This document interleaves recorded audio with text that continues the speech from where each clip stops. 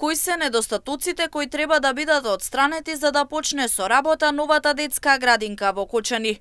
Ова беше главниот акцент на денешната посета на министерот за труд и социјална политика Ѓоко Велковски во Кочани.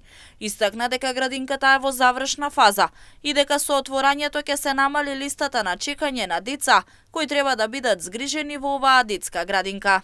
Започната пред 4 години со изградба ова детска градинка, Денеска сме во една завршна фаза, меѓутоа се уште има недостатоци кои што треба да бидат отклонети, затоа денеска сме присутни да разговараме директно што представува проблем за да, да се пушти во употреба самата градинка, да може дечињата кои што се на листата за чекање во окочени да бидат згрижени токму во оваа градинка.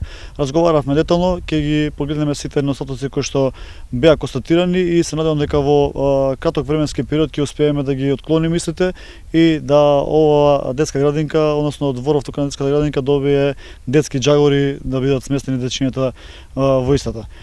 Велковски посочи дека ќе се работи на проблемот со вработувањето на нов кадар, односно воспитувачи и негователи во оваа детска градинка.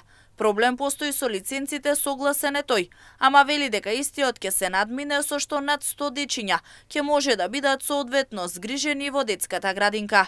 Во врска со заразната болест голема кашлица, Директорката посочи дека проблеми за сега нема. Та детска градинка ќе бидат сместени 112 дечиња во пет групи и се надевам дека ќе ни ја намали листата на чекање која во моментот е од 150 до 160 дечиња. А во моментот немаме дечиња регистрирани со а, голема кашлица, инаку вакциналните статуси во 99,9% кај дечињата е средено со почетокот како што кажа министерот, во досијата секојаш имаме картони од вакцината и секоја година ние бараме потврда за уредно вакцинирани деца.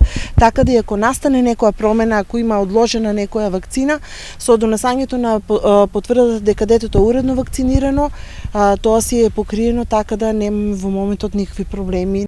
Детската градинка во Кочани започна со изградба пред 4 години, со што се очекува да биде отворена во најкраток временски рок и во неа да бидат згрижени децата кои чекаат ред. Со тоа листата на чекање од 150